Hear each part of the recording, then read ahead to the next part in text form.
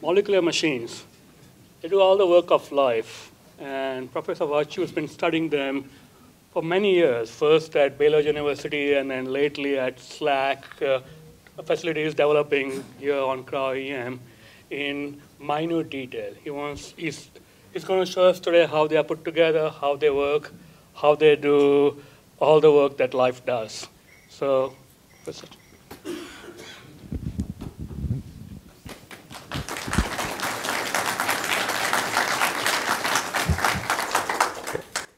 Thank you very much. Uh, it's very nice of you to uh, come out this evening uh, to join me uh, to uh, listen to the kind of work I've been doing in the last uh, 30 or 40 years.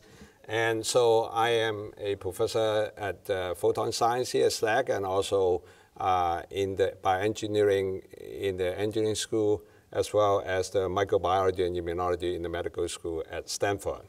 So first of all, I kind of like to make an introduction. What do we mean by molecular machines and what is really cryo-EM? And so here is the work molecular machine being introduced by Professor Bruce Albert at University of California in San Francisco Medical School. And he drew an analogy of molecular machine to a man-made machine. As you can imagine, a man-made machine, just like an automobile, is made up of many parts each of these parts has to work cooperative and it's a dynamic process, it's not sitting still. So a molecular machine in a living system is also making up many parts, but those parts are proteins and nucleic acids. And all these parts has uh, to put into the right place and has to move at the right time. So, so these are the challenge about uh, how these molecular machines are being together and how they function in the cell. And I would say that there are only finite numbers of molecular machines in the living systems. So as a biologist, we are interested to understand each of these molecular machines. Once we understand it, just like car, if we know everything about different part of the car, we know how to fix it. Actually, I have a broken automobile now. I don't understand enough about the car, so I couldn't drive it, right? So are the same principles. And so here is an example of a molecular machine. It's a protein folding machine. And this little orange color thing is a protein that's first made in the cell. But when it first made in the cell, just like spaghetti is a, a string of, of uh, protein, uh, uh, amino acids, but somehow it had get into the chamber, and there's a biochemical process, and at the end it will come up with with a, a, a, functional protein. Just like you have a chicken, you put it in the oven, somehow it works and it come out, it's, it actually tastes good. So, so this machine, protein machine, is the one that made up of it look like sausage, but you know, it looks a, a, a sausage looking density, which is our protein components. And this particular protein machine is made up of 14 different uh, protein components. So the question is, as I saw in the movie, uh, they can move in, something coming in, and something coming out with, with a products. So now, what are the size of a protein machines uh, in, in living systems? So the size is around between 10 nanometer and 100 nanometer. Uh, the nanometer is a measure of a scale. Uh, one angstrom, which is the size of an atom, is equivalent to 0.1 nanometer, which is approximately is exactly one billionth of a meters. So a molecular machines are, are, arranged in this range scale between 10 nanometer and 100 nanometer. So it's about 100 times bigger than any single atoms. It's 100 times smaller than a bacterial cell. Now the question is how we can visualize such a, a molecular machines. And, and, and the way to do it is use a electron microscope. Now the bigger object we are familiar like a hair, uh, or a bacteria, we can use a light microscope to see it. And other techniques to see these, all these objects of different sizes, in addition to a electron microscope, we can actually use a photon. Like, for example, SLAC is, uh, uh, is internationally known to have a very powerful uh, uh photon source. In such a way, we can, we can scatter uh, the atoms or the proteins by, by the X-ray to get very high resolution structures of proteinous materials. But today, I'm going to tell you using an electron, uh, the advantage to do electron rather than X-ray. Number one, uh, is scattered very powerfully. So uh, we can actually, the wavelength of the electron is less than a fraction of angstroms. So the resolutions uh, of an electron microscope can and visualize down to atomic levels. And secondly, uh, using electron, we don't need to crystallize the material like in the case of X-ray. Uh, we usually have to crystallize the material in order uh, to depict its uh, detailed structures. Uh, so the, the molecular machine that I'm going to talk to you today is turned out to be a virus. Okay, uh, virus, I think you all probably have experienced the infection during the seasons, the flu virus. And the virus is really a, a some very tiny amount of genetic material, either DNA and RNA, and being encapsulated by a protein shell. So the question the biologists is interested to know is how exactly these protein shells are being organized. It turned out the virus in fact, you and me are different from the virus in fact, the bacteria or in fact, the cow or, or, the, or the dog. So you know, different virus has different uh, chemical composition and the shapes and the size of the virus are also different. So what I'm going to tell you today is one type of virus, how it look in atomic details uh, which is at this uh, size scale uh, is a, uh, uh, a, a, about 70 uh, nanometer in diameters. so now, what is a electron microscope? I mentioned the word electron microscope. It looks something like this. in fact, it's, it's about 10 feet tall. And then if you open the door of this, you see a whole bunch of, again, it's a machine, so it lots of parts. And those parts is fundamentally can be classified as uh, several components. The electron has to come out from the top here. In other words, you have the accelerator so the electron to have certain energy. Now, an electron is, you can think about electron as a wave or as a particle. Uh, so because it has a mass as well as a charge. Okay, just the, you know, the electricity electron, so you have charge. So the electron is accelerated extremely high energy. The typical energy of the electron we use in the electron microscope is around 300 kilo electron volt. So, and then you come down to through these columns of, uh, of we call lenses. So what the lens does is to control uh, the flux of electron. In other words, just like you turn on the faucet, how much water come out. So you know, all the lenses can regulate how much electron can be irradiating on on the top of this specimen. This tiny arrow is represent the position we put our biological specimen or whatever specimen that one is interested look at. And then after the specimens, then one need to form an image. And the image is formed by a electromagnetic lens. Now, it turns out electron doesn't go on straight line. It has to go on a kind of spiral way. That is where the lenses are, so that in such a way we form the first image. Now, part of the use uh, of a microscope is to magnify it so that we can see it, right? So there are many lenses uh, below this first lens called objective lens is to magnify the objects at different uh, uh, stage of, uh, of, of, of, sizes. And at the end, after that, we still need, we, we need to record the image so we can see it. So this is where the detector is. So these are basic components of electron microscope. Now, then the question is, it sounds pretty good because the electron microscope, as I said, the wavelength is better than a fraction of angstroms, so we can resolve things at atomic level. But then, can we use the electron microscope to look at biological material? The answer is going to be, it was, it was very tough because the electrons has to be in a vacuum. The electron is so energetic, so it has to put in a vacuum so there's no gas molecule in the path of the electrons. Uh, now, when it's a vacuum, that means if you're biological material, they are full of water. So that means it has to be dry. When it's dry, it means dead, right? If your plant has no water, it's dead, right? In the drought season, you know, last few years, you know, all the plants dying because they're dry. And then, so there's no good news. So somehow we have to find a way to keep the specimen wet with the water inside the microscope. The biology have figured out how to do that. And secondly, the electron, as I said, is very energetic. By energetic means they would damage it. So the electron has energy, and it will depart some energy into the material, and as a result, the chemical bonds that make up all the proteins or the genetic material will be damaged by the electron beam. So these are two bad news for the biology if we will look at the biological materials. Now, let me just damage what the damage means.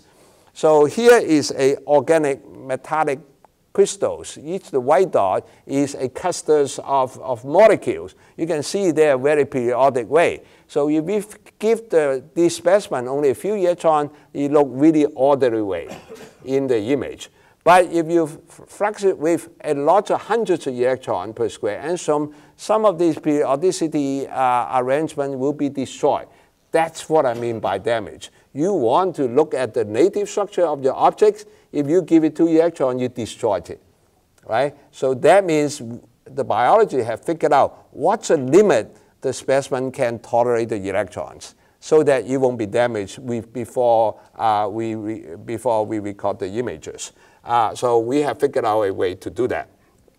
So now, now the term besides the electron I call cryo-electron microscopy. Cryo-electron microscopy, what does that mean? What it really means is the biological specimen will be kept at really low temperature, minus 195 degrees Celsius inside the microscope. Now, why we keep the specimen at this low temperature? Because the two problem I pointed out, the damage and in a vacuum. So because the ability to keep the specimen at low temperature, we can actually freeze the specimen. Uh, the freezing, it means just like uh, we punch frozen uh, the specimen and make the water in ice. So you can imagine if you go to have a hamburger, the hamburger is a protein. You want to put ketchup and mayonnaise and all the other goodies, and those are watery material. That's exactly what we do. Is when we prepare our specimen, we freeze it uh, so that all the water, all the salt buffer surrounding the biological material are still in the environment. Uh, so once it's frozen, we put it in the electron microscope and the electron microscope have a low temperature specimen holder so that the specimen can be kept at what, minus 190 degrees Celsius. So that's, that's the first experiment we did. And then secondly, at low temperature, even the specimen are damaged by the electron as long as the molecule or the atom do not move away we still can see what are the position of all the atoms uh, in, in the biological material. So, so that is the merit of going to low temperature, keep the specimen hydrated so that we preserve the specimen or also reduce its radiation damage. So that is why we call cryo-electron microscopy. Now, so now in terms of the whole workflow, how, what I do in a daily basis uh, here at Stanford, uh, so first, some of us will prepare the biological material. Depends on who you are. Some uh, some of us interested in protein related to cancer, and other interested in protein uh, related to Alzheimer. So or other just for curiosity, just any protein to uh, metabolize the, the meal you just finished, you know. And so, so the, you can choose whatever protein that form this protein uh, molecular machine. So once it's purified uh, in the wet lab, then we freeze the specimen. This is aerator, so we quick freeze it very quickly, just like a guillotine. You know, just push the button, and then the drop of, uh, of, the, of the solution of the your protein machine will be punched in the cryogen. We froze it uh, in a matrix of very thin layers of ice. Okay, so once this is formed, then we transfer the specimen in this microscope, which I have a, a slide earlier. And in the microscope, what we did in forming an interest, something like that. It's not very appealing, you know, it's just black and white. It's not even color. But what we do is all the objects is in three dimensions. And so in the electron microscope is we are looking at a projection uh, of a three-dimensional object. So like here, uh, you know, just like just like a, uh, a, a, a ping pong ball right here in these pictures. Now these are two-dimensional images, but what we are really interested are the three-dimensional look of all the atom in space. So that is the next step is we call image processing. Uh, we actually borrow the, the the method used by the astronomers and, the, uh, and then the signal processing uh, engineer, and in such a way that we can combine all these images of this little round particle and create its three-dimensional picture. Just like if, if, we have to take a CT scan in a hospital, you know, we have all the picture that uh, in that case, uh, the camera can rotate. They don't rotate us as a patient, but the camera rotate a different angle. If you want to look at me in three dimension, you really need to look at me in all angle. So, so what the image processing does is look at this round particle in different angles so it can generate a three-dimensional pictures. Now, since any typical uh, molecular machine, uh, they have thousands of atoms. So it's all in here. Can't you see an atom? Some of you say yes. Not really. They are there. So in order to see where they are, we need to simplify it so any decent, intelligent individual like me can actually interpret it. So we call modeling. So in other words, we put the atom in a schematic way so we can actually understand how they look, which I'll show you how they look in a minute. And subsequently, when we finish, since we thank you very much for your tax data for us to do research, we want to share our knowledge to the global scientific community. So as a result of that, we have the protein data bank uh, that we deposit all this information uh, in the data bank in such a way anybody, anywhere, you have an internet, you can just put a click and you can get a structure I solve, so you can get a structure my competitor solve. So I think that is a very genuine community. We share our data openly when we finish our work. So these are the whole pipeline. Now, it sounds pretty straightforward. In fact, it took about 40 years for some of us involved in each of these steps. Uh, we have, uh, I, when I was a graduate student across the Bay at Berkeley, we are actually the first one involved in these phasing steps. And then we, I, in my group, we actually done a lot of implementations uh, of this software, which I put an arrow because there lots of many, many years before we can go from one side of the arrow to the other side. And so again, all our software DVD lab in our lab also openly share with the global community as well. So with all this work uh, in our lab, in, in, in, several labs in the, in, uh, in the world, and finally this field become mature. And last year, we say we actually touched down, and three of my friends uh, uh, have won the Nobel Prize uh, in chemistry in recognitions about their substantial contribution in different aspects of cryo-EM. And so, in fact, uh, Richard Henderson will be visiting us in November uh, this year. So, any one of you will be interested in his lecture, I welcome you to come on November 9th uh, on campus. So, now, with that, the question is why all of a sudden 2017 the Nobel Prize was given? Because the Nobel Committee actually looked at what the trend of this field goes. Uh, so this shows in last 10 years what are the structures being solved in the global community. As you can see, since 2014, there's a big jump. Of a sudden, all these structures emerge not only in my lab, which in the 2008 and 2009, most of these 50% are come from my lab, but now in the last few years from many labs, not in, including our as well. So I think with this urge of, of, uh, of interest, uh, in multiple places in Europe. And the question is, what are the situations? Why not only me who can do it, which I would like to see it that way, but on the other way, on the other, uh, on the other way, we want to of the technology we share the, with all the other was primarily due to the invention of this camera. So as I point out, you need to record the images. Now, in the old days, some of you uh, as I am, when you take a picture, you bought a Kodak photographic film and you went to the dark room and then you, you developed the film. That's what I used to do. When I was a, a assistant professor, I actually make our own photographic film so that it becomes sensitive enough. Now, through all this year, there are actually electron detectors. Uh, first with the called CCD camera, uh, the other called direct detection camera. And direct detection camera basically is similar in physics, just like your iPhone. But the only difference is these are cost more than half million dollars a piece than the iPhone. So that's only different. The physics are very similar. Uh, so now, why is that useful? And it turned out this, this camera that uh, in fact it was developed by the uh, detector in, in, uh, in, a, in a lab similar to here, the Berkeley and uh, lab uh, in the Lawrence Berkeley laboratory. And so, and subsequently picked up by, uh, by a number uh, industrial uh, company that make it uh, commercially available. Uh, the, the, the scientific merit of this camera is it's a very high frame rate. It turned out one of the challenge in using an electron is when the electron hitting the specimen, specimen will be moving. Just like if you take a picture of a baby or me at this point, then you will have a fuzzy pictures, right? So now, but if your camera is very high speed, then you can take multiple pictures of me, and subsequently you can use a computer to align one frame to another. And so this is what this picture shows it. You can actually align multiple frames. Uh, in such way, you will reduce all this blurring effect due to motion of the specimen caused by the electrons. Now, the other scientific merit of this detector is it can count single electrons.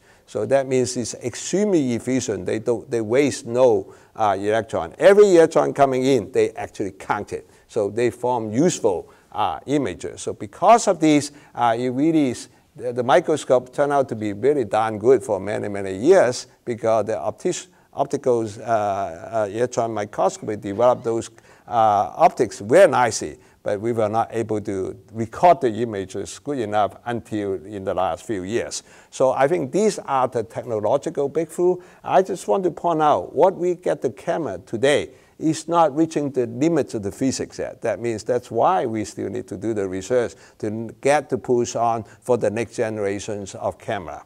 And so this, that means this field is still under active research. So now, so this that much technology I want to share with you. Now, I want to give you some uh, real life uh, applications. So for many years, my lab has been interested in a biological process. The process involved is how the virus are being put together in a living systems. So it turned out the virus is once you get one virus get into, then you will multiple, multiply many, many viruses and that you, you know, the, the, the organism get infected will get sick. So in what part of the process is that the virus has the genome, and the genome will be replicated in the infected cell, and then, and then the replicated genome will produce proteins, and the protein will put it uh, together in, in a particles. Now, there has different color, different color represent different types of protein that make up this uh, particular shell or, or particles. And then subsequently, the DNA in this particular virus will thread through one of the, the, the, the vertex and then the of spool around inside the chamber. So if the outsides are all made of protein. So, uh, so the water protein, the virus actually protect the genome so that make sure the genome of the virus are not being chewed up uh, by the host enzymes. Okay, so this is very important for the job. If you have a virus, that you have to have the right protein to encapsulate the right size. It turned out interesting enough. Some viruses are big, some are small, and for some.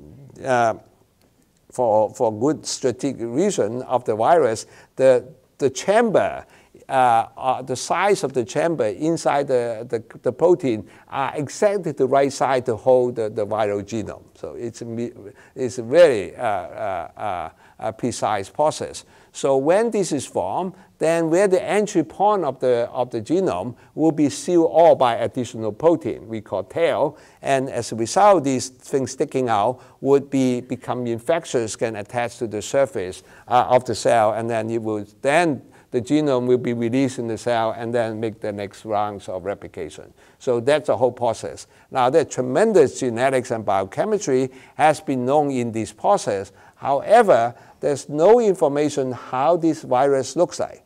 Okay, as I pointed out, in order to get the structure, you can do X-ray crystallography. And in this particular virus uh, called P22 uh, bacteriophage, uh, this P22 phage turned out to be a virus that can infect the salmonella. Now, salmonella, some of you may heard, can be a food poisoning. Now, if you somehow go to some junky place to eat the thing and you have food poisoning with salmonella, so now the, how do you solve the problem? Uh, I would suggest maybe you eat some of this phage okay, because the phage will kill the bacteria, and then you'll be well again. Now, that is not a crazy idea because you think about, you heard about, about bacterial infection. You, you know, last thing you want to go to go is go to the hospital when you're sick because there are lots of infection can possibly be done. Those are the bacteria. So once you have bacterial infection, what do you do? You would actually have antibiotics, right? But sometimes antibiotic doesn't work. So in fact, the Russian has suggested many, many years ago, maybe a phage therapy. You know, if you somehow feed the, the patient with some phage, maybe you can kill the, the bacteria rather than antibiotic. Now, that was, I thought was crazy idea many years ago, but now, maybe not too bad idea because some of these antibiotics actually doesn't work. But anyway, so that's, that's a kind of medical uh, uh, way of looking at it. But I'm interested because just intellectual curiosity how this diagram uh, are actually occurring. Okay, so but anyway, this P22 phage is the object that I will spend a few minutes with you, how we can use the cryo-EM microscope to look at these three-dimensional structures. And the last part of my talk, we'll talk about how do you look at the virus, these phages are, are multiplied in the cell. How do they look like? Because so far in this diagram, we biochemically purify it. So first of all, I kind of like to share with you how we use the electron microscope to look at these mature phage. P22. So here is using this expensive camera, we take multiple frame. And then afterward, we uh, uh, line up the frame. Now, as you get more frames, all the, these virus particles, 70 nanometer big, are become more and more pronounced. You can see that after 17 frames, things become more statistically defined. So you can see this particle different from this, this, this, this, this, all slightly different because turn out this particle embedded in this matrix of ice are oriented differently. If you look at me this way, would be really look different from that way. So it's precisely why these particles don't like, look like this, even though they are identical virus particle. Now, so in our data uh, uh, collections, uh, this is some of the old data we did uh, some years ago. So we collect about 20,000 particles in the electron microscopes, and then we combine a computer, and then we generate these structures. And these structures, it actually look like uh, we call buckyball. And it turned out a buckyball is, uh, was, uh, was a invention by Curl Kroto and, uh, and Smalley uh, in Texas, which I used to be in Houston, so they are all good friends of mine. They won the Nobel Prize in 1996 because they uh, discovered this buckyball. What the buckyball says is these are only carbon atom in this simple case. It has uh, penton and hexon. There's 60 carbon in making up this buckyball. Now, in biology, in this uh, P20 virus, it looks like exactly buckyball. It also has hexon, 1, 2, 3, 4, 5, 6, and also have a penton.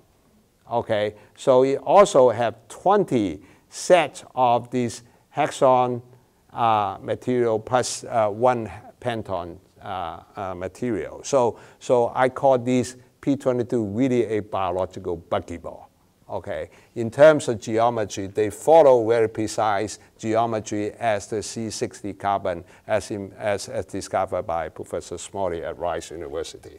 So now, uh, what this diagram shows you is about the position, the density of the atoms, okay? So I'm going to show you a movie in next slide to show you, to spin it around, and I like to zoom in one of these 20 hexons in here.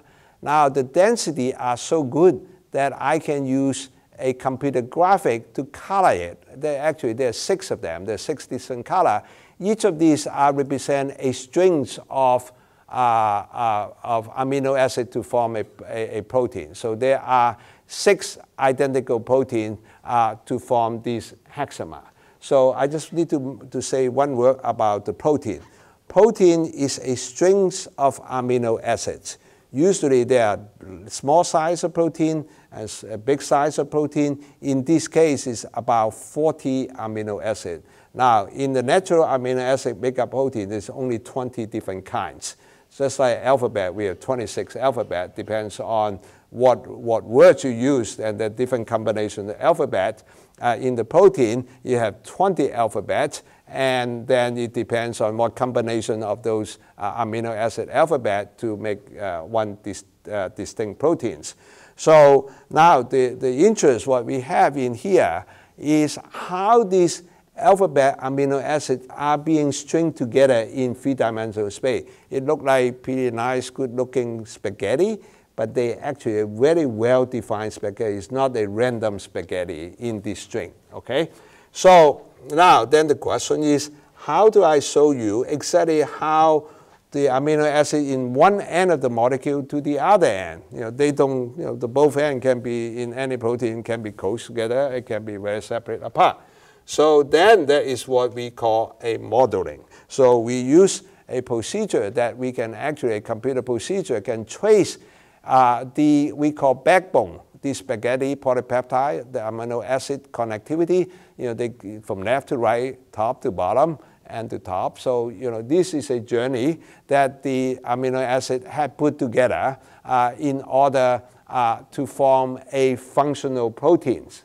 Okay, so it's not a random. Now, if you're sick, like Alzheimer's, some of this, these proteins cannot fold uh, ex exactly and that is why these, uh, some of the protein can, can get uh, uh, cause uh, disease. So, but in this virus P22, that capsid protein uh, form this particular trace. Now, as I said, uh, this movie show you the connectivity from one end. You know, this N terminal, C terminal is on the other end. so then, in addition to the connectivity, you may ask, well, where are the atoms? Did I say the, the protein are made of atoms? So the next movie show you where the atoms are. Okay, so now we are now in this flat of, of amino acid. We build a model. With the model, we describe where the atoms are, which we represent the atom uh, in different color, oxygen in red and nitrogen uh, in, uh, in blue, and then the white color are the carbon. Because by and large, the protein molecule are carbon, oxygen, nitrogen, and hydrogen. Okay, and sometimes it have also a sulfur as well. So here I give you a model to describe the position of each of these atoms. So uh, in this particular case, there are about uh, several thousand, maybe four or five thousand uh, 40,000 uh, atoms altogether. So we are able to determine all this in three-dimensional space. So now, as I pointed out, these are made up of hexagon and penton in these, in, in these fundamental units. There are 60 of that that make up the whole, whole P22 phage.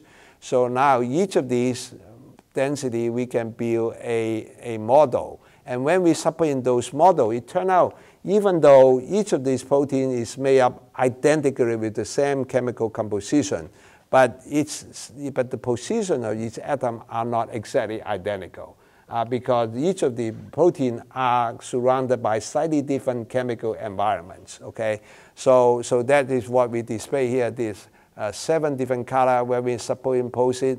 These end of these you can flare out differently in each of these protein in making up this hexon and the penton, and this loop here also slightly different, which I'll explain in a minute why that's the case.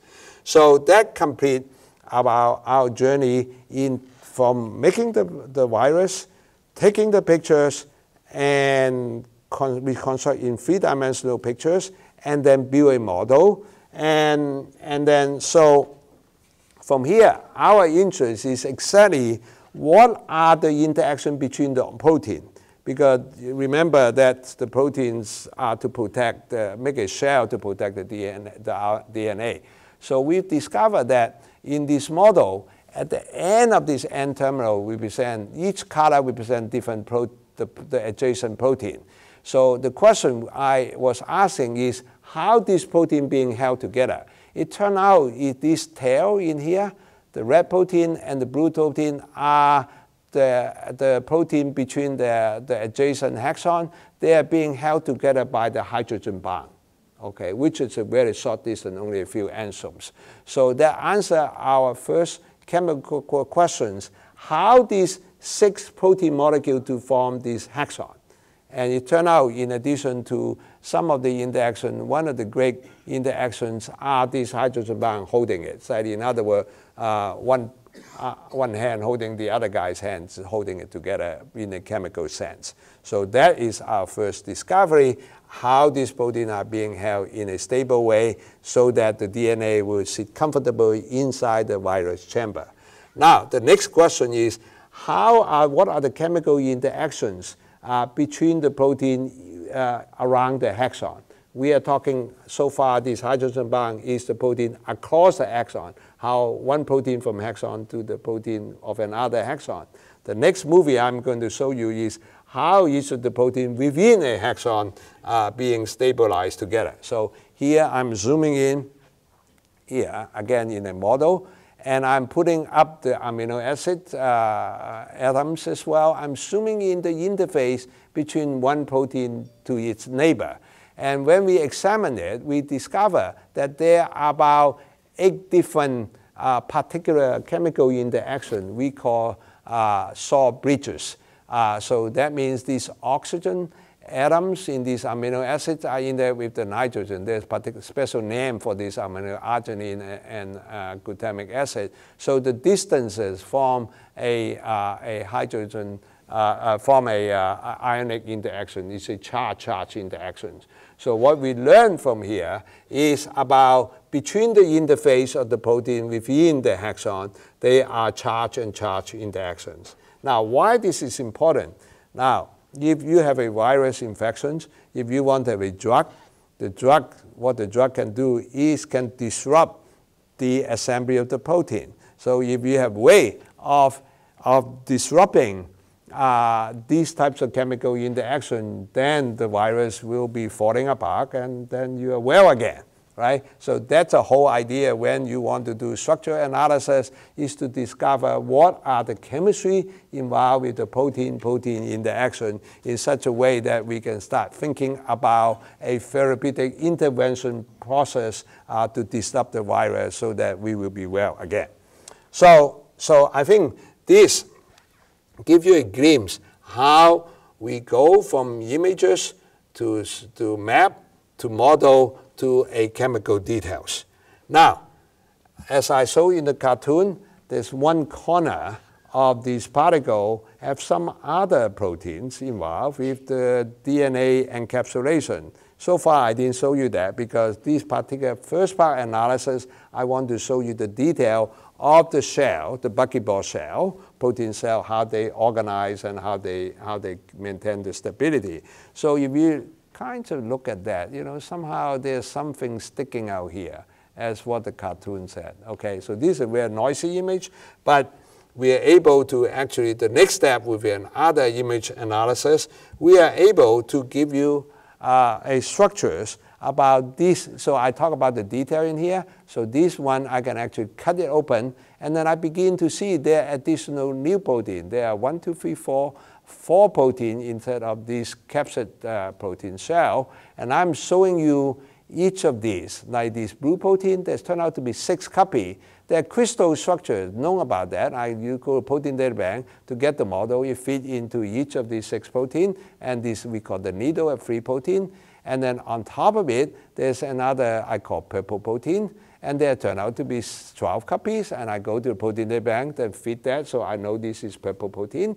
And then again, they make up the same, same chemical composition. Now I'm looking at this green protein. It also turned out to be 12 copy, a crystal structure also known in each of these proteins. And then now we spin around, it look like what, uh, what the uh, protein data bank looks like. So as a result, we can now combining information on the cryo-electron microscopy together with crystallography of some of the individual protein that uh, the crystal able to crystallize and solve the atomic structure. So now we have a whole uh, atomic level description of this virus. And in the last movie, I showed you that turned out to be 12 copy this portal green protein, 12 copy the hub purple protein, and 18 copy of the tail spike, and then 3 copy of this needle protein.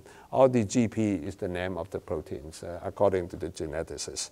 And of course, there are DNA in there. I didn't have time to show you DNA. It turned out the DNA is a kind of form a, a, a spoop inside uh, the chamber. So uh, that pretty much finished what I want to tell you about these infectious P22 phages, which will infect the salmonella. Now, so this is a mature phage, but we are also interested, say, how would this virus look like before the DNA comes into the chamber of the virus? So then we can, that means in this we call procapsid. Now, in this, as this cartoon say, uh, there are the blue protein, which I went into a detail to talk about, but there are also purple protein, and I also show you some of these uh, other protein in this vertex. So, so the next set of experiment we did is to look at the structure of these called procapsid. And so here is the experiment. We also took images in this expensive uh, movie frame camera, and this one I show you now. One thing you notice is these look like more angular, the, the structure I showed, these look like more circular. Uh, it's not your, your eyesight blurring, they're actually true. You know, the one on the left is more circular, and you look at more carefully, get a computer ruler, this actually is a, a smaller in diameter by around 80 angstroms. Okay, around 8 nanometer uh, smaller in diameter. So the interesting question is, that means when the gen genome is packaged in the virus, the virus actually is swelling. Okay, before the DNA is skinny and round, once the genome got in, they're angular and fat. And the question is, how does it do it?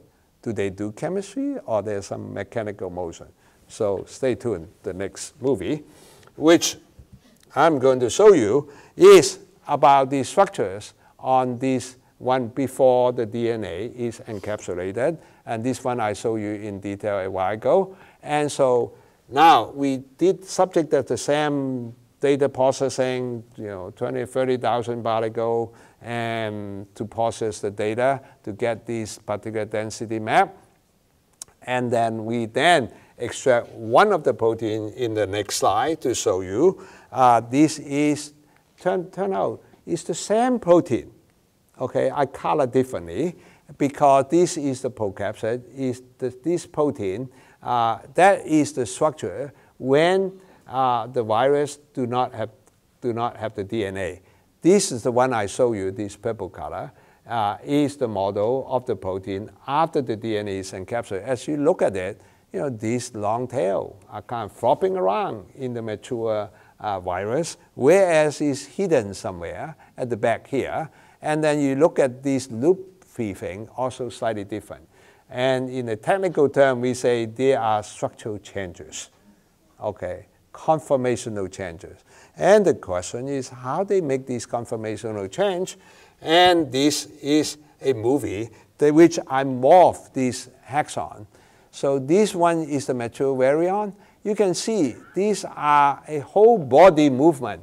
It's not just I'm not arm waving, both my arm and my foot, and it's all moving in such a way to accomplish these structural changes in the virus. So first, in the mature virion, this hole closing up. Again, it's not surprising. After the DNA come in, the job of the protein is to protect the DNA. That's why they don't want it open. When it open, the outside in the cell, they are very aggressive enzyme can chew up all the DNA. That's no good, right? So that is a design very carefully that once the protein in there, the protein under conformational change protecting the genome. And secondly, the interface between the protein also different.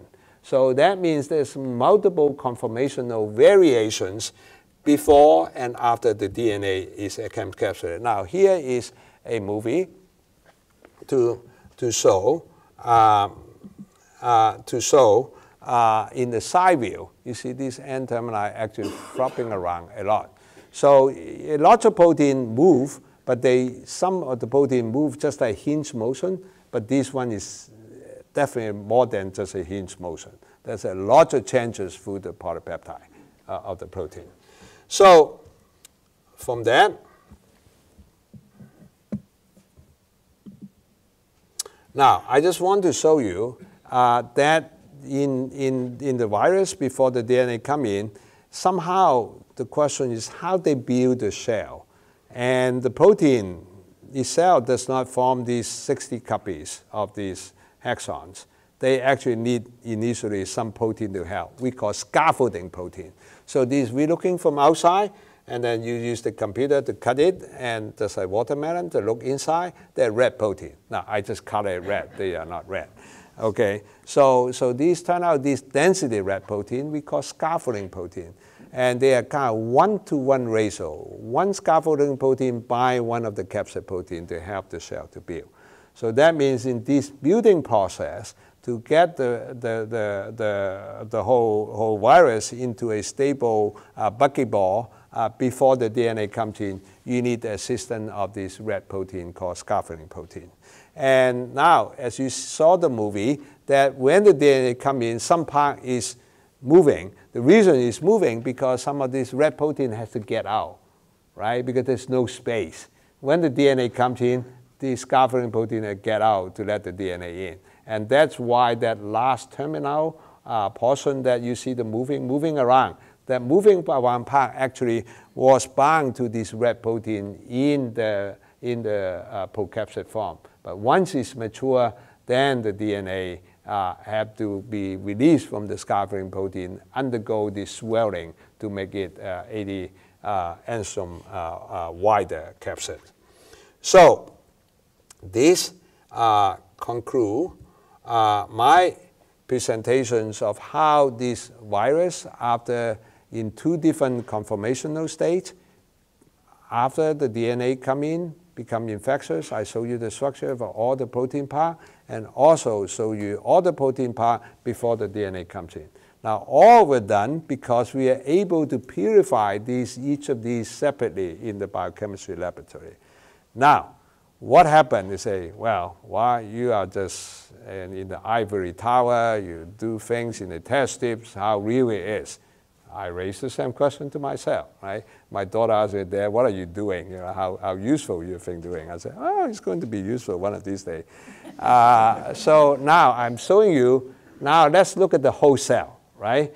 I'm looking at the whole cell which have been infected by the virus. Is that really enough? I think it's really enough. So now, but the cell, as I show you in the scale diagram, they are about 100 times bigger than the virus. That means the, the, the bacterial cell can hold uh, uh, tens of this, this virus particle, okay, in addition to all the protein machinery in the bacteria. So now when I look at this, it turns out this particular uh, cell is a bacterial cell in the ocean. We call cyanobacteria. Now, why is interesting? Because in, it turned out that our whole bioecological system uh, we eventually come out the sun. The sun gives us the energy. The energy will convert into organic mass. And so turn out in the oceans are full of shark, you know, a lot of fish and shark. But in addition, there are a lot of bacteria swimming around as well. These poor bacteria, they may be eaten up by the shark, but anyway, I don't know that. Uh, so, but this particular uh, bacteria is useful from the point of view to understand the most fundamental process in life is to capture the sunlight to make organic mass, okay? And number one. And number two, each of the bacteria in our cell, in, in the ocean, they are also associated with phages. Okay, that is, in other words, these phages, in other words, if all the phages die, the bacteria will probably die also if all the bacteria die, it turns out within us a lot of bacteria. Hopefully we have all the other defense mechanism to make sure that the bacteria is not too offensive. Uh, so there's a kind of homeostasis. So right now in the medical school, that you know there are cancer patients. It turns out even the cancer patient, some of the complication is some of the bacteria they call microbiome is not in balance. Okay, eventually one may die because of these uh, bacteria come kind of mess it up in terms of things. So now, when I look at this, this is about fractions of micron. They're very thick. Okay, so you see this, well, what are you showing? It's just a black thing, you know. It's, I pay you my tax dollar, it's not worth it. So I said, don't worry, I probably can do some physics, which I muck around with this, putting a phase space. In such a way, I get this. Compare, look at this and that, from nothing to something. I'm not playing magic, but this real. This is real physics. Okay, so that means that's why we need physicists, right? Because they do good things, sometimes, uh, most of the time. Uh, and uh, so, so, so we call a phase space. Mr. Zernike also got the Nobel Prize a long time ago in the light optics, invented this, but we applied it here to optics. And so as a result of that, then we can look at this by we got tomography. It turned out every bacteria is different from any other bacteria. So no two bacteria are identical. So that means we need to get a 3D pictures of one bacteria at a time. So the way we do it is in the microscope, we can actually rotate the specimen looking at different angle uh, so that you know we can get multiple pictures. And then just like a CT scan, we get a tomogram reconstructed.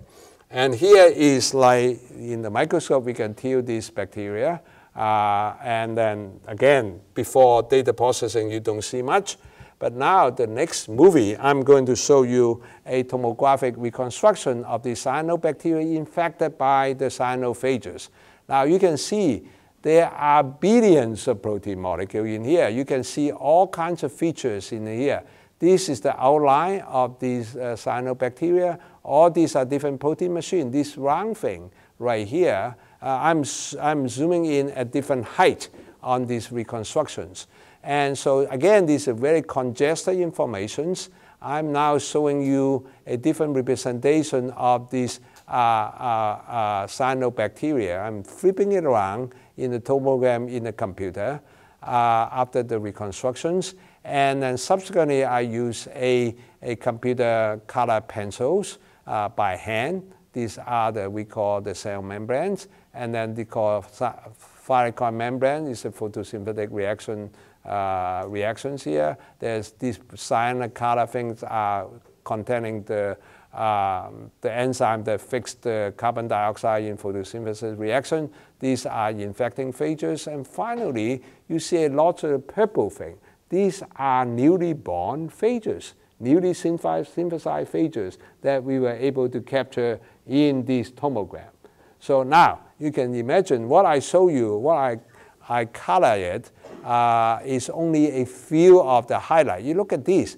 These phages actually drill a hole into this membrane to transport its DNA into it, into the cell. So we do see uh, this one slightly leaking because there's too many phages in there. So it's slightly leaking. Some of the other things are, are going outside.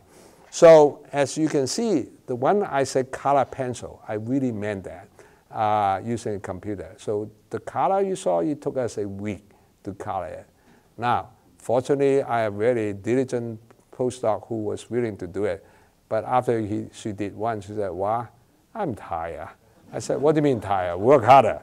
He said, no, I'm politically incorrect. I should encouraging loving care to my student and postdoc. So I said, okay, so in other words, maybe we don't need to work harder, maybe we work smarter. So in fact, another student come by, they said, why, well, you don't need to stay there for one month, you know, to color it as a kid. And because I'm graduate student, I'm from Stanford, I must be smart, right? So then, well, I was from Texas, so the Texan also smart too, um, in different way. Uh, and uh, so, so we eventually employ this, this algorithm called deep learning.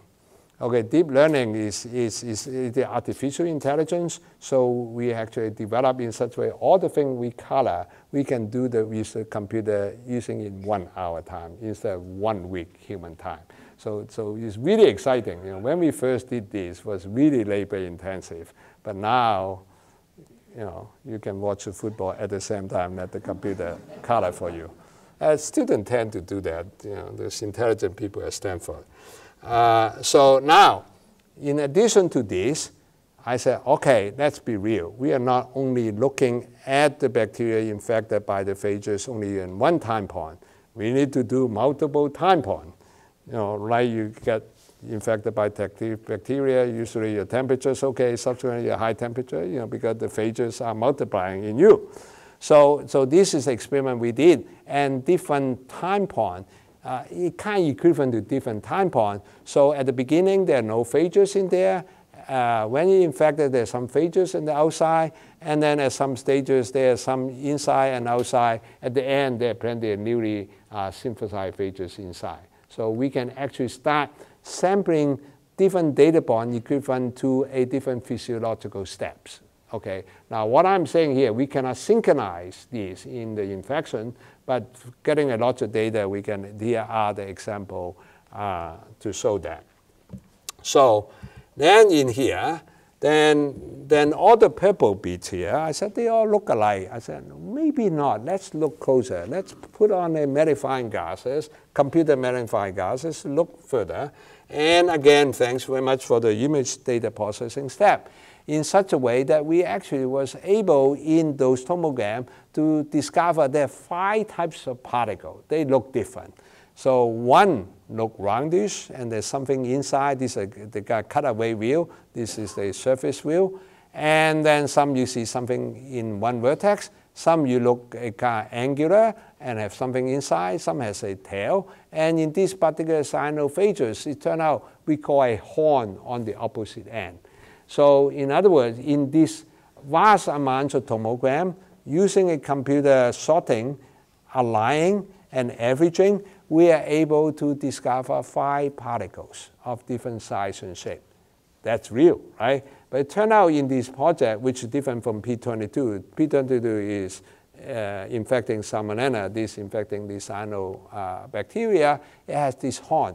One of the questions uh, among these uh, phage biologists when does the horn get on top, uh, attached to these phages? By just look, uh, we have this assembly, the horn must be assembled the last.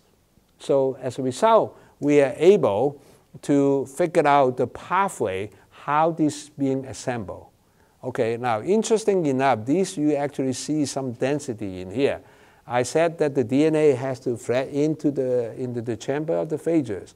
It's no free meal, it takes energy. It turned out this is an enzyme provide the energy to package the DNA in there. Now it also turned out in these particular phages, we are able to only purify these. We were not able to purify all the other easily. So what it tell me is if I want to look at the structure of a biological process, in this case, is the virus assembly, is a it's a, in fact, in a sense, an infection process of a pathogens.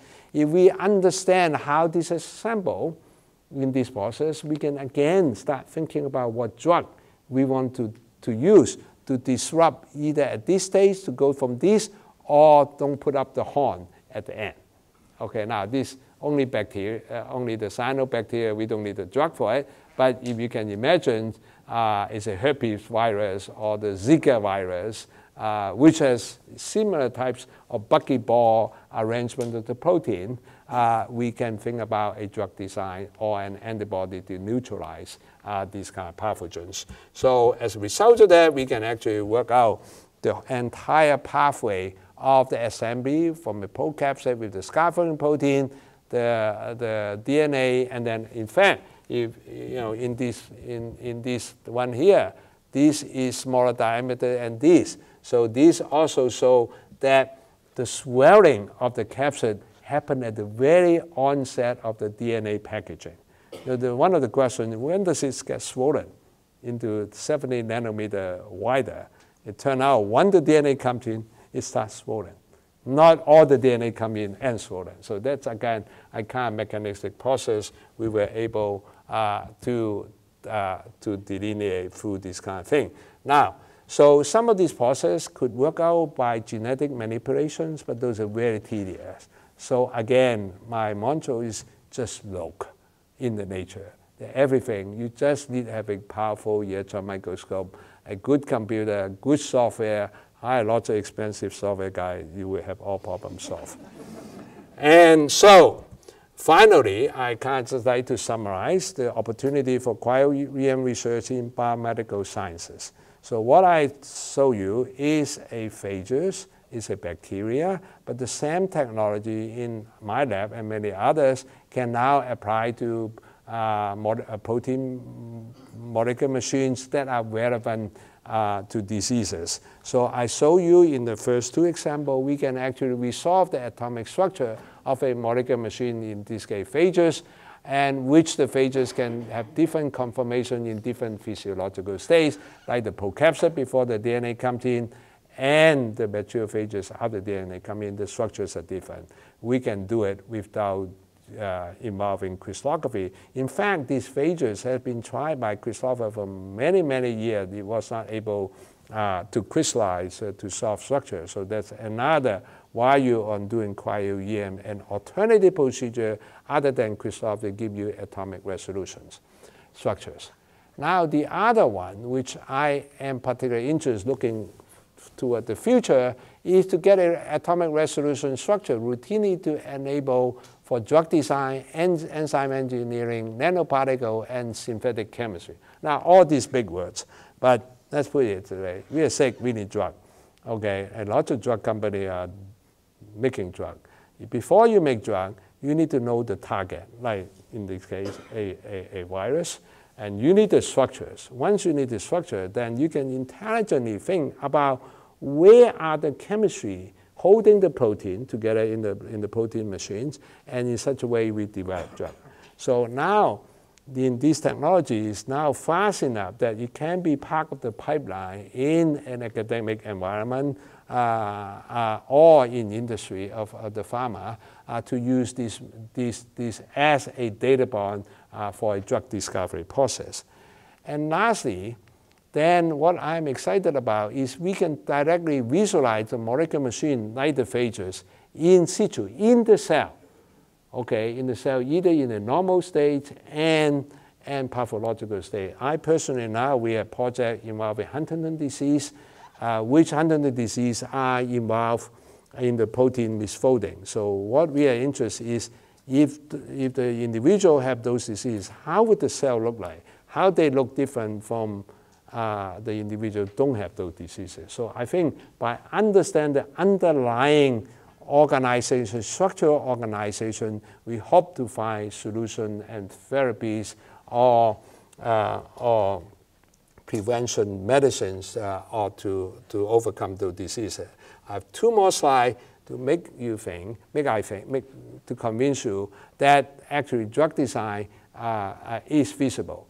Now, in terms of drug design, what I show you is only three and a half, 3.3 angstrom. The, the medicinal chemists say, well, maybe that's not good enough because I really need to get a crystal clear each of these oxygen nitrogens atom. And can you go beyond three and a half angstroms? My answer is yes, because you pay me well. Uh, so here I came to Stanford, we set up a microscope. This is called apoferritin. Okay, apoferritin is another molecular machine that hold up all the iron. You know, some of you eat iron every day, you know, this the pill, right? Because they are actually, this apoferritin can contain the iron to supply to the body. So these are the images of this apoferritin, and we solved the structure. Look like another nano cage. Now I color it four different color this time. It turned out instead of uh, 420 uh, uh, protein, in this case only 24 proteins. Uh, so each color is one polypeptide. And in fact, if I extracted, build a model, only one portion of peptide, we actually see really detail. Like for example, this amino acid, okay, right here, we call a ring structure. At 1.9 angstrom, these aromatic residue look like donut. Donut at a hole in there. If a low resolution look like pancake. A pancake doesn't have a hole. So I think this kind of information is what the medicinal chemist would like, or the farmer looks like. So the good news is the cryo-EM can actually generate these quite rapidly. And uh, Dr. Uh, Kaiming Zhang in, in our group were able to collect data of this sort in 10 hours time to generate uh, enough data to create this kinds of density. So I think the good news is this is technique finally come into place. That means the Stockholm Nobel Committee did it right. this technique is actually mature. Not just for academic interest, have a translational value as well. Now, one more last point about looking in the cell, which I'm extremely passionate about, is I worked when I was in Texas working uh, with Professor uh, uh, Anil Sood, uh, who is a ovarian cancer uh, oncologist. So based on his studies, the ovarian cancer patients, the platelet is from the blood, tend to be somewhat abnormal. This, the patients seem to be thrombotic. So we, I suggest maybe we just look at it. Okay, so here are this first clinical research. So the clinical research I did actually from a patient sample. So uh, these are the normal subject. Uh, in order to make it short, the interesting part are that this blue protein called microtubule. They can't wrap around the platelet uh, in the normal individual. The benign patient, these still wrapping around but slightly broken up. But in the benign patient, the, all these microtubules seem to be broken up. Okay, the interesting aspect about these observations is that if this cryo-electron tomography method can potentially be a diagnostic procedure, in my opinion. Okay, so it turned out ovarian cancer, just like many cancers, is very hard to know until you really at the terminal stage. So my idea is why every healthy individual just get a, a drop of blood every year, go to the doctor, and then put it in my microscope. We will tell you how good your platelet looks like. Now, if it somehow goes something wrong, we will just warn you ahead of the time. So I think potentially it can be a diagnostic purpose.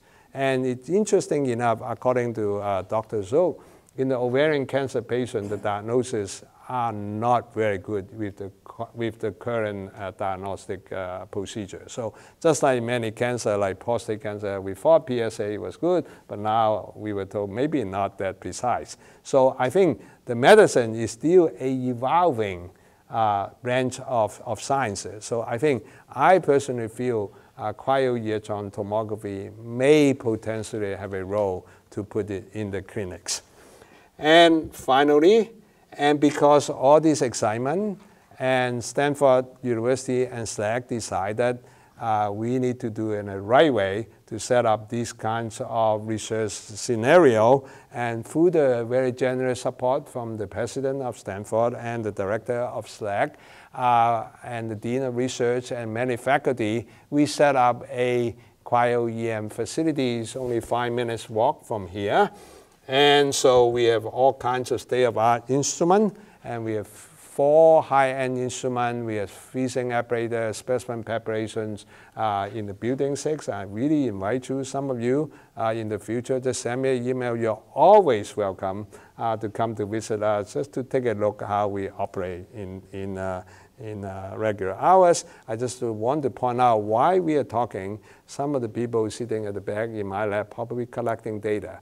In other words, some of these data collection can be done remotely and so, in fact, uh, some of the project, uh, the postdoc uh, professor, uh, who now become a professor now, um, uh, uh, Hung Ro, and he collect a data set on one of the channel in five days while he was attending a conference elsewhere. And that was a sensational data he got.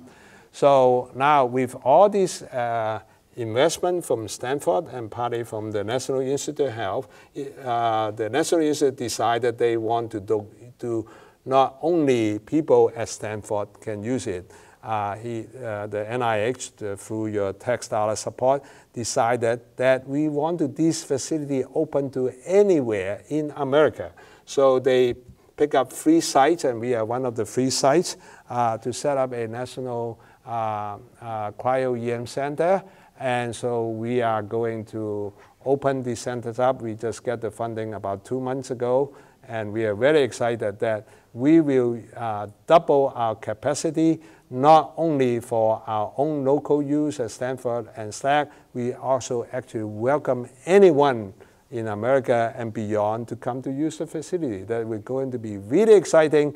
There will be a lot of, uh, of biological material we can first time to look at the structure and function. Hopefully, it has a translational value uh, to overcome uh, the comeback diseases and also solve the, the, the, uh, the alternative by uh, energy problems.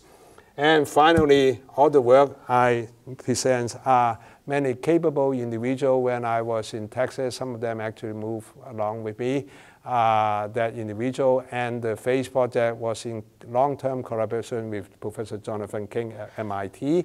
Uh, you know, MIT just don't have these kinds of things, right? Uh, so we have been working um, with him for many years. So we are really excited uh, with all these uh, colleagues in, in, my group who contribute a lot of very dedicated time for many, many months and years uh, to the story I present to you. I thank them and I thank all of you to be here tonight. Thank you.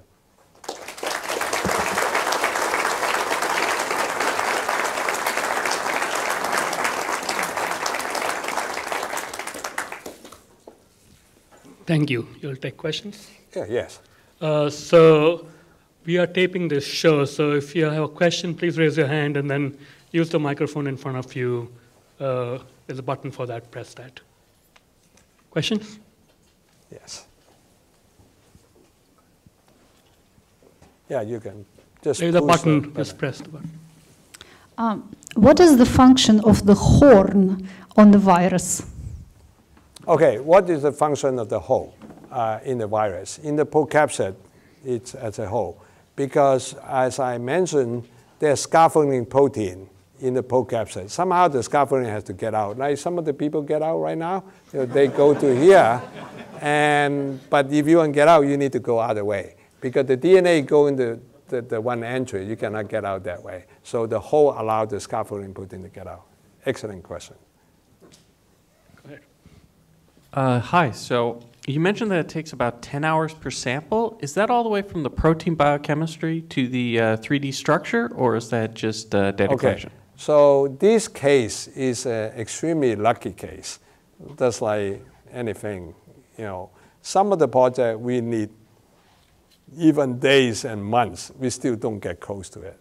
So this particular apoferritin turned out is a well-behaved protein machine.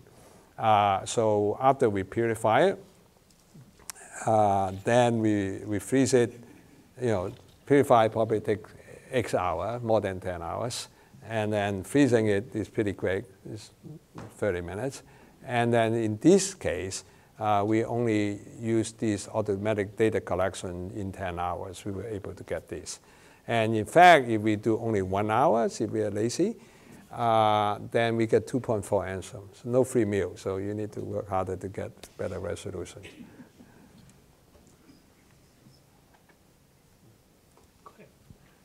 So I have a question about water. So you have oxygen in your image. How do you subtract out the water oh. background? And then also, does when you freeze it, does the water bonding affect the structure and, and alter what you see? Very good questions. Okay, uh, it's uh, when you freeze it, when the water is frozen, it turns out water can have different phase transitions. It can be crystalline water. It can be amorphous water. You know, the water mo molecule H2O can form a crystals. Uh, so the way we did it, uh, Jacques who got the Nobel Prize, was because he was able to freeze it very quickly in a very efficient uh, cryogen called ethane, liquid ethane. So when we first did it at Berkeley with my mentor, Professor Bob Glaeser, we froze it in liquid nitrogen. It turned out in liquid nitrogen, it was not frozen fast enough. So the water become a crystalline ice. And then Jacques Dubochet changed that method using ethane. And then you can freeze very, very quickly. And uh, the speed is something like 10 million degree per second, that quick. And so the water will be in amorphous ice form. Okay, and that's how to keep the specimen uh, hydrated and, and preserved well. Did I answer your question? The, the other part of it was how do you keep the oxygen, even from amorphous, from showing up in your image? Is it just it's random enough? Oh, oh, oh, oh okay. So one of the things is you may be asking, do we see water in our map? Okay, I didn't have a slide, and in fact we did. at the 1.9 angstrom, we see water molecule. And the question is, how good the resolution you can see water molecule. In our experience, if you have something like two and a half angstrom resolution, you will begin to see the water. Now, water is so little, then one of the things I didn't uh, tell you is, how can you trust me what I said? Okay. After all, I came from Texas, right? So they were a good state.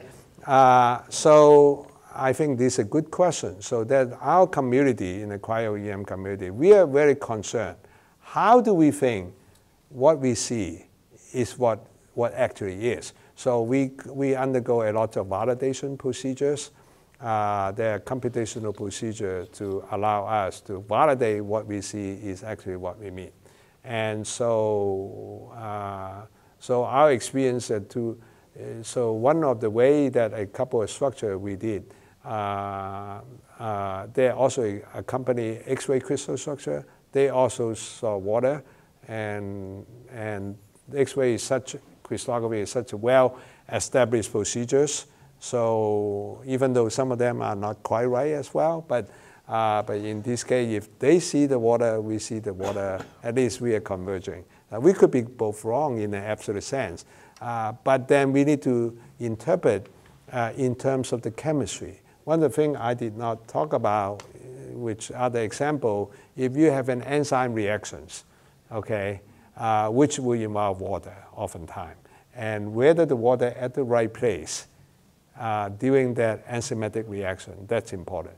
So in addition to a, a very rigorous uh, validation based on the structural procedure, we also need to make sense in terms of functions. And then, and then other thing we do is also we can do mutagenesis. We can modify certain residue in such a way water won't get close to it, and we can do another structure. And then that, that water molecule or whatever ligand. And in fact, we also, uh, one of the projects on an ion channel, we begin to see not only water, uh, but we can see the fats, the lipids in, in, in, in the complex as well. Go ahead. Hi, Wah. Uh, Very exciting work. Um, how important is uh, the knowledge of your protein sequence uh, to get these sub 2 angstrom structures? Okay, so most of the projects we do, uh, we are kind of know what are the chemical compositions. And, and most of them actually have a gene sequence and also accompany with the protein sequence. So in terms of the building block amino acids, we can't know in most cases. But the question is, do we really know everything we see? in there? The answer is we already come across two cases. We actually discovered something we didn't know before. Okay, so in one of the cases, we thought it's only one protein. It turned out there's another protein, a small protein. It, skipped, uh, it escaped the, uh, the, the, the knowledge of, of the biochemist who thought it's only one protein. When we finish all the structure and we build the model, we build the model according to what we were told how many amino acids in the protein. And we saw, oh, there's another density. I want our amino acid. What's that? It turned out it's another protein. And that triggered us to do another biochemistry experiments uh, or another genetic experiment to confirm what we suspect another protein indeed is another protein. We already come across two cases, but it's an expensive way of discovering another protein. but that's okay. It's very powerful techniques.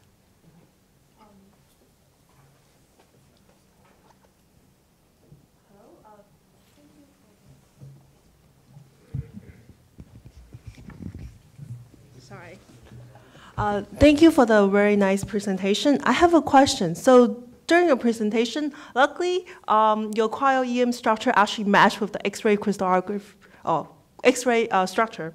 So what do you do when those two structures don't match? Oh, good question. In fact, sometimes they don't match. And then who is right? And I would say all of us are right for different reasons. Because it's correct, because in the X-ray case, they're very rigorous, right? And they get 1.5 angstrom, they see every atom very clearly. But in the X-ray case, you need to crystallize the protein. So that means you need the protein in a different chemical environment. By crystallizing it, you cannot just embedding in ice. You need to put some other chemical, which chemical don't exist in the cell, but they are doing chemistry. But we are doing biochemistry. So we are interested in bio thing. Okay, so that's what we are after the truth, the ground truth, in the native structures. So we embed it in the chemical environment, it will be mimicked in the cell. So as a result of that, now the crystallographer actually get interest to do the cryo-EM. Because what the structure they see, you know, they see how the spaghetti are being folded in 3D.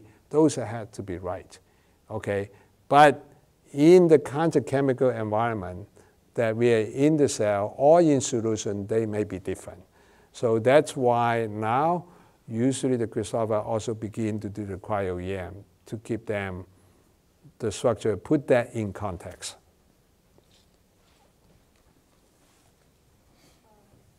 Sorry to follow up on that. Um, is there a third technique to verify cryo-EM? Because it sounded like um, if the if those two structures do not match, um, the current convention is now to just trust the cryo-EM structure.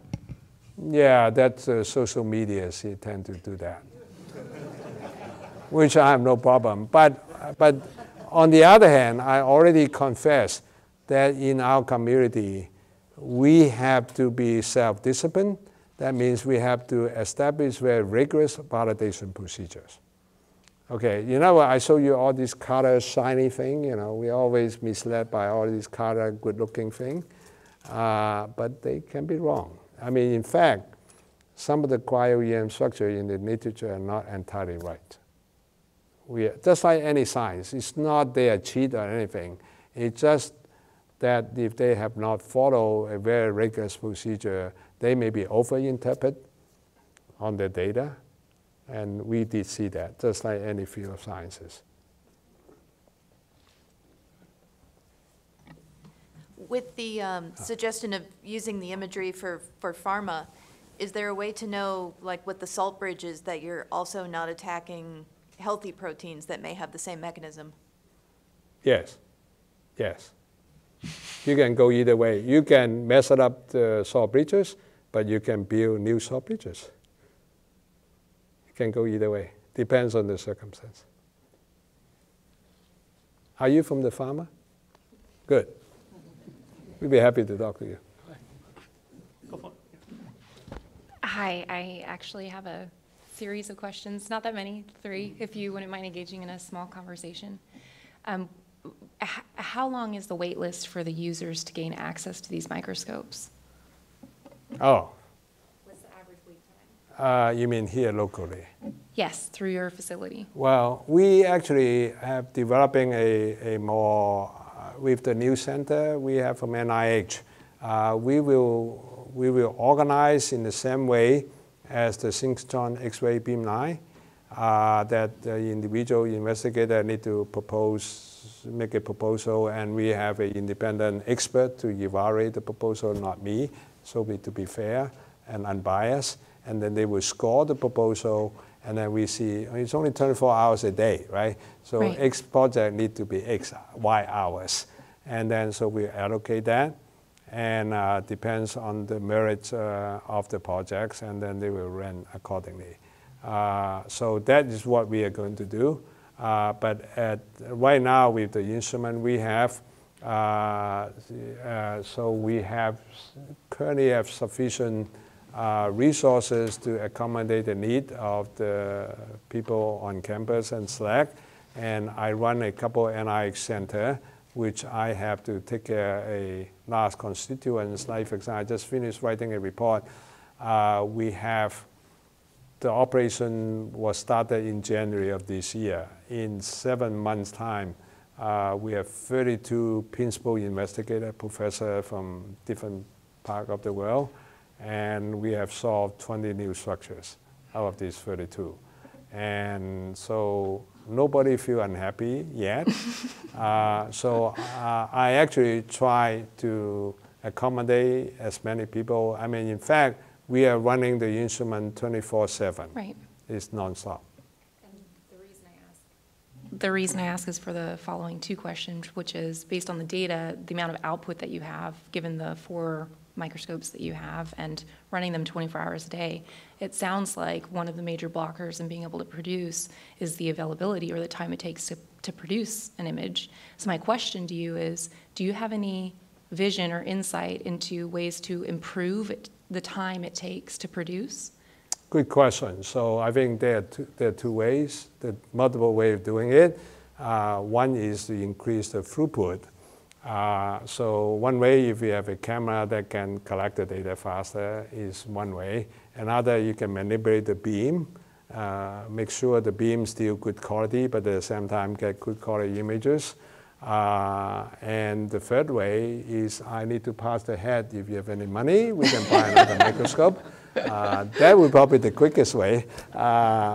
So, so there are multiple ways uh, to approach that. So, so, be sure to tell your friends to uh, recommend you for the Nobel Prize when you come up with those improvements, okay? Yeah, yeah, yeah. and the last question is, um, where do you see this technology or what you're currently doing uh, going? What's the vision for the next five, Okay, 10? so I think it's going to be, right now, only those people you know, the biophysicists doing this.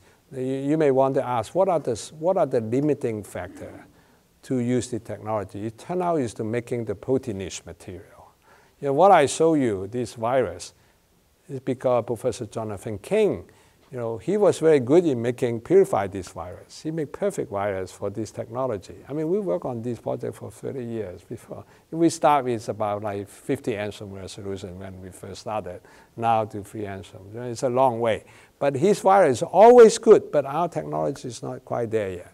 Uh, so I think what I think the challenges is the biology had to learn how to make the specimen so that we can put in the microscope. Like this afternoon, there's a pathology from the medical school came to talk to me, and he was interested in a, in a protein that has to do with hepatitis virus that cause uh, liver cancer disease. And so, and the questions I have is, can, you, can he make good protein so that we can do this kind of high resolution work?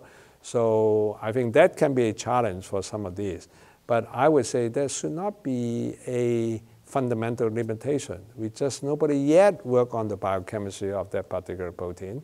Again, if we put the right people, that can be solved. So, uh, so I'm very optimistic. There are chemical ways in making the protein to be amenable for these methodologies. Uh, so um, I can see this technology will be a a regular data point on any biological research because like the synthetic biology, you want to synthesize new protein to do new things, new protein machine do new things. We need to characterize it. And in fact, this cryogenic electron microscopy is not only useful for biological sample, it can be useful for non-biological sample, like uh, beam-sensitive materials, uh, for example, uh, one of the professors in the, in, on campus is interested in alternative material to make battery. How can you make battery cheaper and last longer? And so, so but turn out those materials are very beam sensitive. So again, we can use this cryogenic electron microscopy to, to look at those materials to aid the design of a perhaps a better and cheaper and last longer uh, battery material. So I can see these methodologies not only for basic research that I'm talking about, uh, could be material science research as well in the medical school. I think, you know, it just, you think about how many medical schools in America, maybe 100 maybe. So I don't think there are yet, only a handful of medical schools have this kind of facility. Uh, so I can imagine that would become a commonplace. Now, how many hospitals in America? There are many, right? If my, if my prediction is correct, can be a, a um, can be a, uh, a diagnostic thing. You know, just like a CT scan, they're expensive. Nobody asked me how much it costs in each of these. It's very expensive. Uh, you know, it's, it's cost more than a house in Palo Alto. Uh, so, uh, maybe around in the Atherton area uh, house. price for a microscope. Shall we thank Professor Wah Chiu again for a wonderful talk?